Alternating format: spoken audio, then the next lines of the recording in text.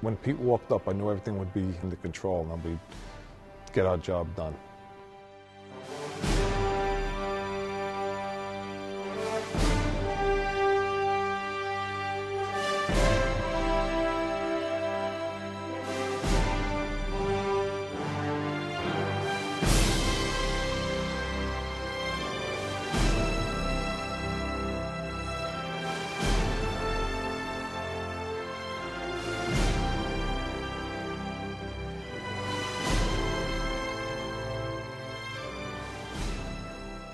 He had a very easygoing way.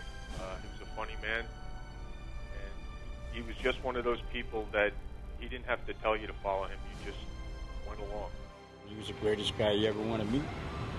He was always in there, no matter who it is. The volunteer fire department is, is very professional in, in its attitude, and Peter just brought an element to the to the table that was just uh, unimaginable. Pete touched all of us, and uh, he trained us in a lot of stuff that uh, we didn't know we needed to be trained on, because uh, we thought we were uh, pretty much close to the top of the pile, but he made us at the top of the pile.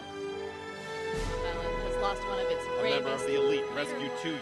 An ex-chief at the Woodmere Fire Department. 35 years So- as a firefighter, Peter Lund responded to literally thousands of calls. specialized He in was fire there all night. rescues from collapsed buildings, skills he shared with firefighters across the country. Peter Lund was a giant in the fire Firefighters from all over New York pay tribute to the beloved colleague today who died recently